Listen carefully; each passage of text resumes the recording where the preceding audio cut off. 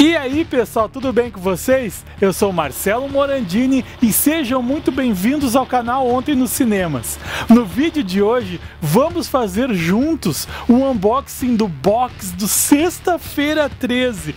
Pessoal, eu comprei lá da CD Point aquele maravilhoso box importado, aquela edição deluxe lançada pela Shout Factory. Eu trouxe aqui e a gente vai abrir juntos, pessoal. Eu tô muito, muito curioso para ver como é que é tudo. Então, caso você não seja inscrito aqui no canal, clica no botãozinho à sua direita e faça a sua inscrição. Ativa o sininho para saber quando outro vídeo estiver no ar.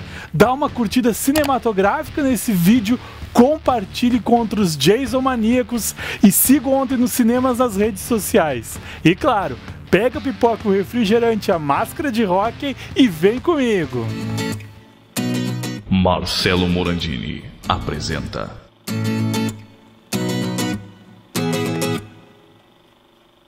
Unboxing e reviews de filmes e colecionáveis.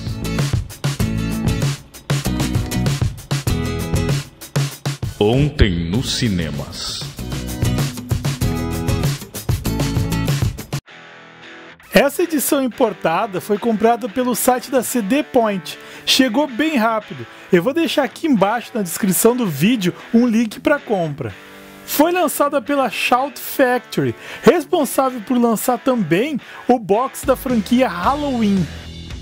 Nessa coleção estão todos os filmes do Sexta-feira 13, inclusive o Fred vs Jason, mais um disco duplo repleto de extras exclusivos, que incluem making off, entrevistas, bastidores, galerias de imagens e comentários em áudio do elenco e da equipe.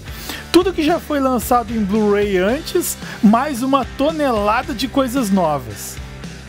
Para os primeiros compradores, eles enviaram um pôster e uma litografia exclusivos, mas esgotaram bem rápido.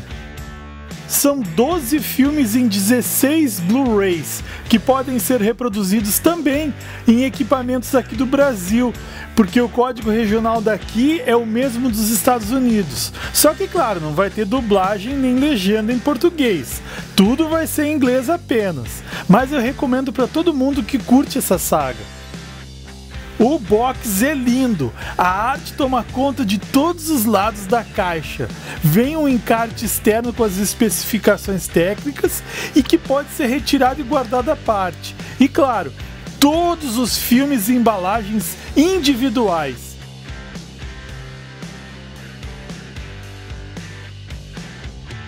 E além dos filmes, vem um livreto ilustrado com muitas informações sobre as produções, tudo seguindo o mesmo padrão gráfico, muito, mas muito legal mesmo.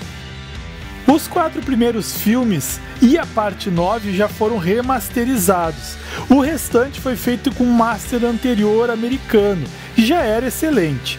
Outra coisa legal é que eles oferecem áudios em mono e estéreo originais e também a remasterização em 5.1, dando uma outra vida para os filmes assistir ao som do home theater. E pela primeira vez, a parte 3 em Blu-ray 3D. Isso mesmo, a terceira parte em Blu-ray 3D para você assistir na sua TV 3D. E já adianto, os efeitos são perfeitos. O Sexta-feira 13 Parte 1 vem em dois Blu-rays. O primeiro tem a versão de cinema, com uma nova digitalização em 4K do negativo original da câmera. O áudio está em DTS HD Master Audio Mono e tem como extras trailers, spots de TV e rádio e galerias de imagens do filme, dos posters e dos lobby cards. Já o segundo disco vem com a versão sem cortes e o áudio em mono e inglês 5.1.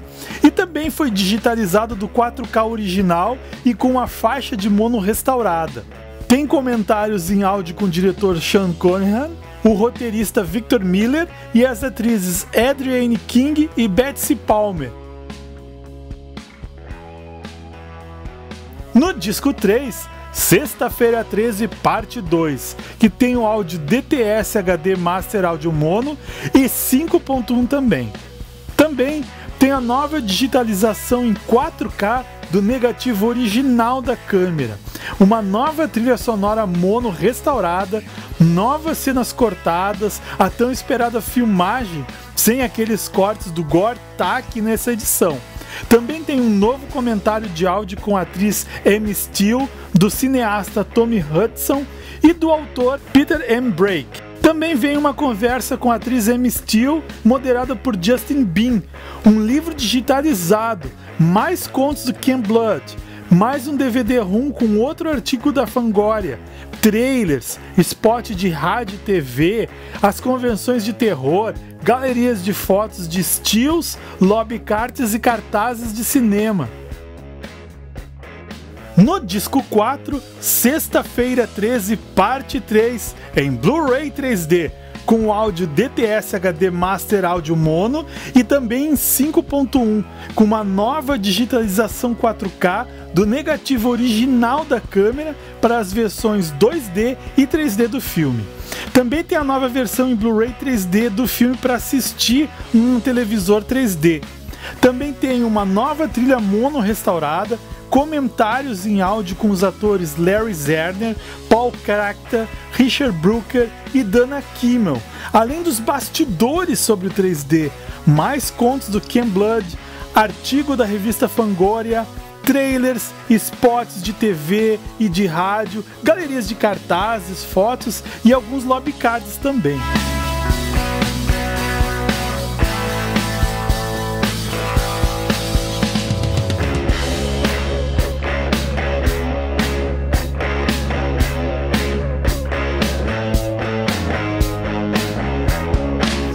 Disco 5, sexta-feira 13, o capítulo final, com áudio DTS HD Master Áudio Mono e em 5.1 também.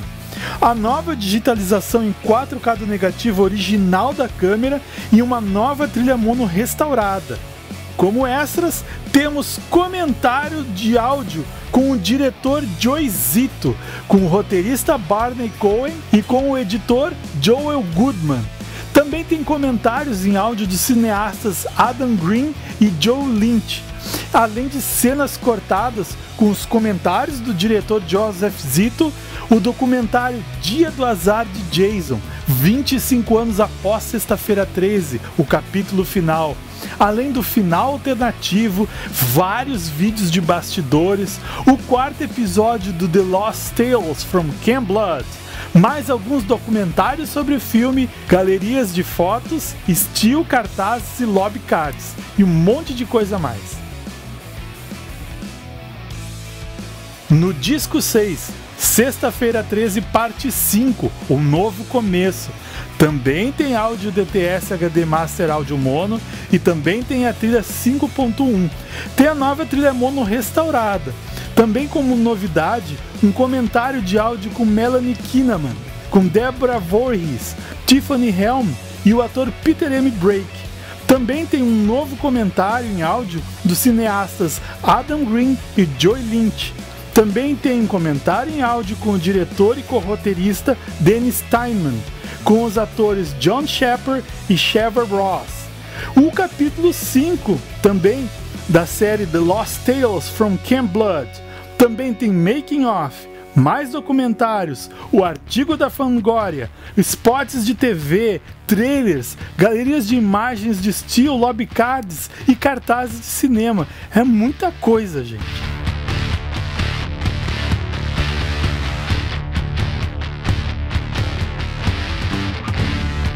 No disco 7, sexta-feira 13, parte 6, Jason Vive, com áudio DTS HD Master Audio Estéreo e em 5.1 também. Tem a nova faixa estéreo restaurada. E como novidade, comentário em áudios com Tom Matthews, Vini Gustaferro, Carrie Newman, Cynthia Kenya, C.G. Graham e o autor Peter M. Brake. Também tem um novo comentário em áudio com os cineastas Adam Green e Joey Lynch e do escritor e diretor Tom McCollin. Além dos documentários sobre o filme, making off, storyboards do final alternativo, novos spots de rádio e as galerias de fotos. No disco 8, sexta-feira 13, parte 7, A Matança Continua, com áudio DTS HD Master Áudio Estéreo e em 5.1. A nova faixa de estéreo também foi restaurada. Comentários em áudio com os diretores John Carl Butler e os atores Kane Hodder e Lar Park Lincoln. Além do making off do filme, um documentário sobre telecinese, vídeo dos bastidores, as cenas deletadas com introdução, o artigo da Fangoria, trailers de cinema, novos spots de TV e galerias de imagens do filme, lobby cards e dos cartazes de cinema. No disco 9, sexta-feira 13, parte 8, Jason ataca em Nova York, com áudio DTS HD Master Áudio Estéreo e em 5.1 também.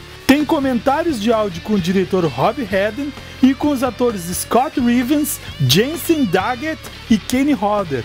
Além de making off do filme, as cenas cortadas, erros de gravação, trailer de cinema, novo spot para TV, galeria de imagens com as cenas do filme, lobby cards e os cartazes de cinema.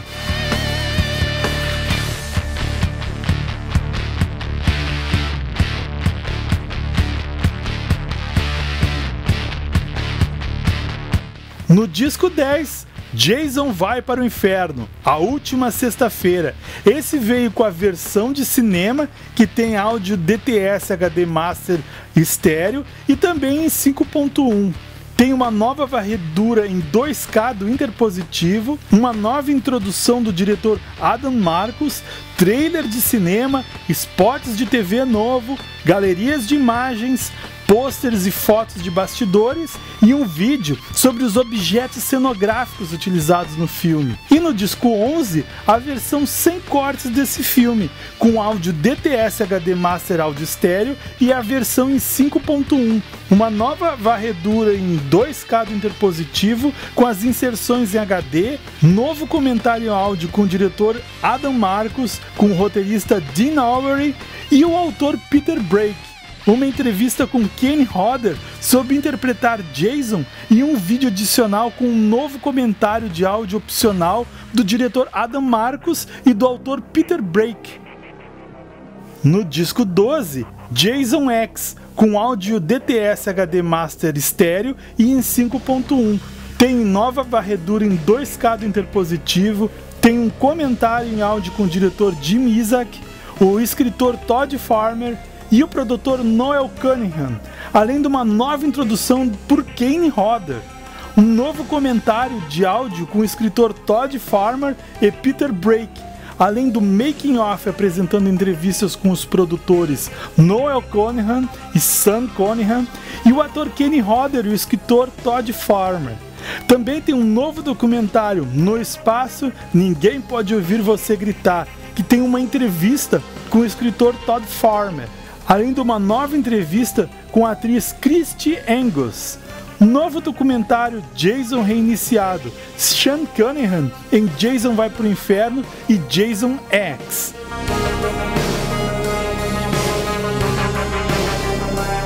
No disco 13, Fred vs Jason, com áudio Dolby True HD 5.1.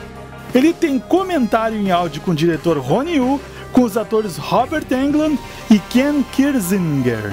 Ainda inclui 21 cenas excluídas e alternativas, que incluem a abertura com encerramento original, com os comentários opcionais do diretor Ronnie Yu e do produtor executivo Douglas Curtis. Tem também o documentário Gênesis, Inferno do Desenvolvimento. Também tem as visitas das locações no local Springwood Revisited e Cabin Fever. Além de dicas de decoração do Jason, as acrobacias, quando o impulso vem para empurrar, que fala sobre os dublês em ação. Os efeitos de maquiagem com todos os efeitos e os segredos da beleza de Fred, além de trailer de cinema e spots de TV. No disco 14, Sexta-feira 13, que é o remake de 2009, que tem as versões de cinema e as sem cortes, com áudio Dolby True HD 5.1 e Dolby Digital 5.1, ambos em inglês. Ainda inclui uma faixa de curiosidades sobre terror, com comentários do elenco e com a equipe. o documentário Relembrando o filme original inovador, além de um olhar sobre o making off de Sexta-feira 13, algumas cenas cortadas e as sete melhores mortes editadas num vídeo super show.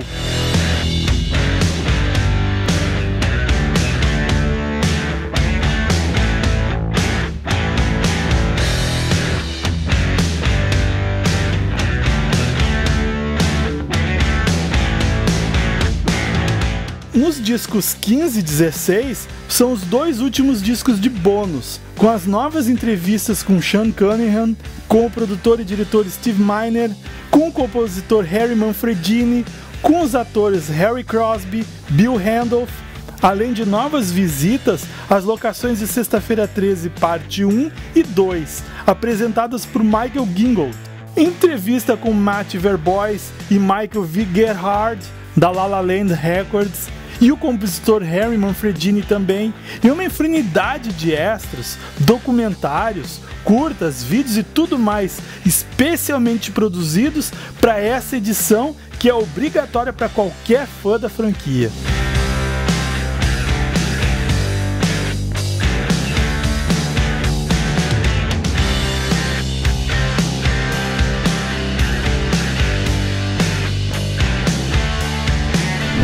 E o que vocês acharam desse box, pessoal?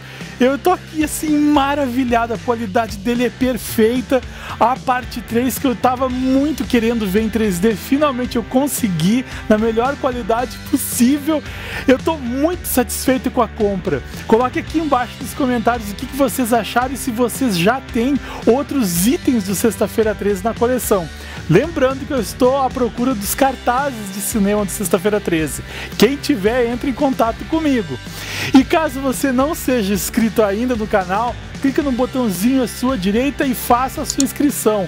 Ativa o sininho para saber quando outro vídeo desse estiver no ar. Dá aquela curtida cinematográfica nesse vídeo, compartilha com os amigos e siga ontem nos cinemas as redes sociais. E se der um tempinho, dá uma olhadinha à sua direita que tem muito vídeo legal. Nos vemos no próximo. Até lá!